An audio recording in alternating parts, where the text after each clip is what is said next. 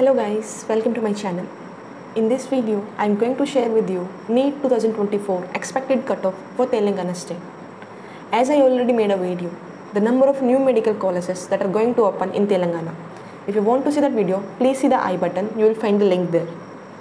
So, if you are new to my channel, please subscribe to the channel because in this channel you are going to get the authenticate information about all the NEET counseling, about all the NEET cutoff, about all the focuses that you have to take care in moving forward.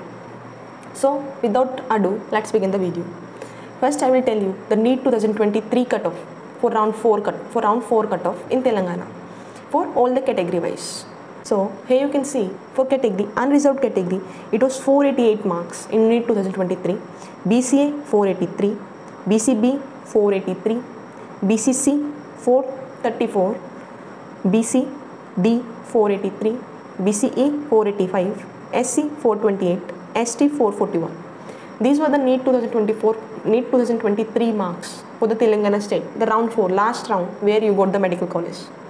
Now let me show you expected cutoff. This expected cutoff is on the basis of various factors. As you know, NEET 2024 cutoff is going to be high as compared to 23.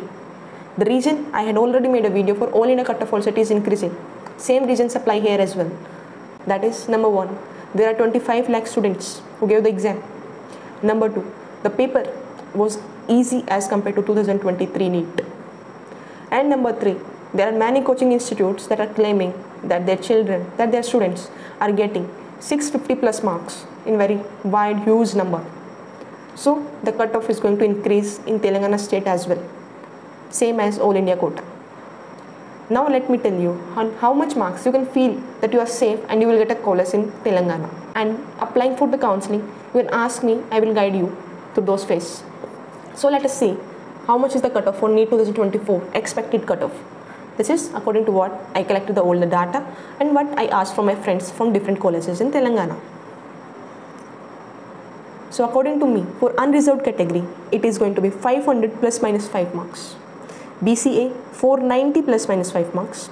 BCB 485 plus minus 5 marks. BCC 440 plus minus 5 marks. BCD 490 plus minus 5 marks. BCE 500 plus minus 5 marks. SC 432 plus minus 5 marks.